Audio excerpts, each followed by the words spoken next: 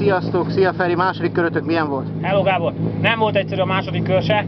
Sajnos hoztunk egy rossz döntést, felraktunk hátulra kemény gumikat, a régi 10 éveseket, na ezzel nem igazán tudtunk haladni. A második gyorságunk az az a ötösön, vagy már nem is tudom hanyasan, a közepén, e, letört a váltónk, a váltókarunk, úgyhogy negyedikbe kellett kijönni. Nagyon nagy segítségre volt nekünk a Vizeli Karcsi, mert a utolsó gyors előtt kulisszát tudtunk cserélni, segített berakni a tartalék kulisszánkat, úgyhogy azt nagyon szépen köszönjük neki. Megpróbáljuk behozni, még a kategória harmadik hely nincs messze, megpróbáljuk azt elérni. Oké, és köszönöm, Köszönjük. sziasztok!